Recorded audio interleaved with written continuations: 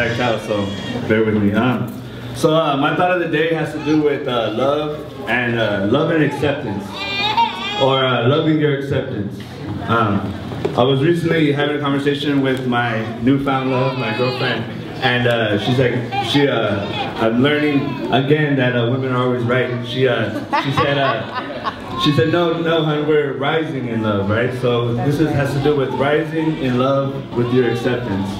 Um, for me, uh, I've traveled, I've had some degrees, I've had some successes in my life, you feel me? And um, things, you know, sometimes we get caught up in uh, thinking we are owed things or thinking that we need things or um, getting caught up in things that really don't matter, you know? Um, this is the first time in my life, like I've never had a, you know, I've always had a car, this is Los Angeles, you know? And I'm on the train, you know? And so every day I have to accept that I'm on the train. But I also live in Boyle Heights, and it's not too bad, you know.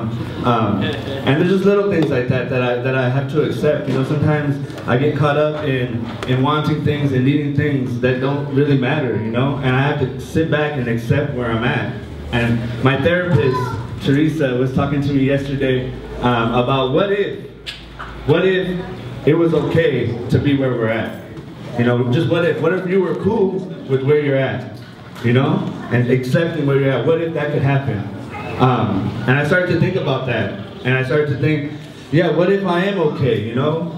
Last night, I'm gonna tell a couple little stories about being okay with where I'm at. Last night I had a dream that I was that I was high.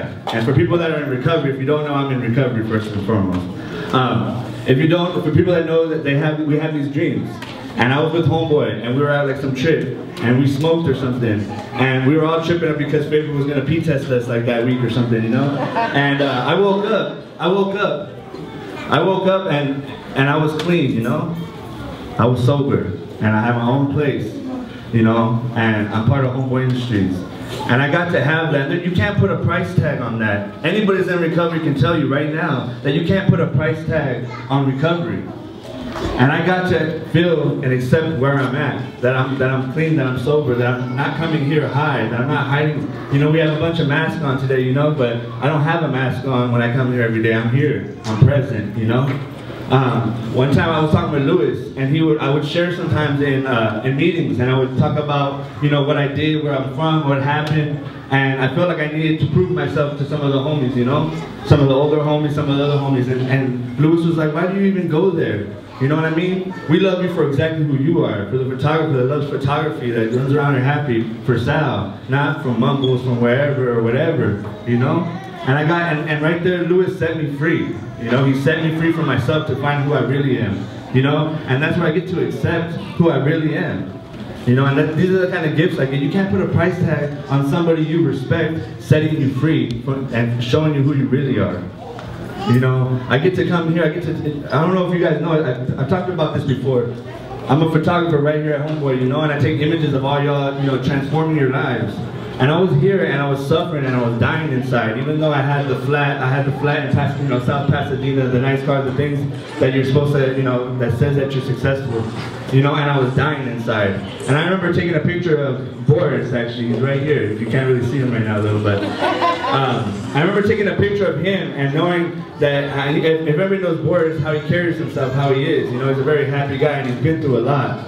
And I was inspired by him. I'm like, man, this guy served 25 years in prison. You know, I've never been to prison, and he's happy and I'm suffering. You know, and I'm taking an image of him, putting on Facebook, and showing the world how beautiful, you know, Boris is, right? And so people here, like I always say, people, I came here to help you and you saved my life. I always tell people about that, you know? And I, I, get I get those kind of gifts, you know? I got the gift to go to rehab, to go to sober living, to get recovery, to get a new family, you know? I got to be, my sponsor had a big loss, the biggest loss that you can have of a child. And I got to sponsor my sponsor. I got to be there present for my sponsor. That's crazy. You know, I was taking images and I didn't know how to conduct myself, but I did it anyway because he wanted to tell his story, because he wanted to inspire any other fathers that you can lose your child and not have to pick up. Because God, I feel like God gave you everything that you need. You know, and you don't need anything to put inside your body. All you need is, you know, a, a connection with your higher power. And I get to accept today that I have a connection, you know? I have a connection with my higher power. I was talking to the big homie right now. I can put my iPhone up, sideways up, and I don't have to put a lock on my phone because I know I'm not cheating on, on my significant other.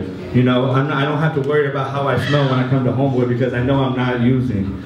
You know, I don't have to do any of this. Like, I mean, when, where do you get to go to a place where my boss is telling me about these grand schemes of great marketing things because my boss Luke loves marketing, right? And we're just talking all this stuff and I'm like, hold on.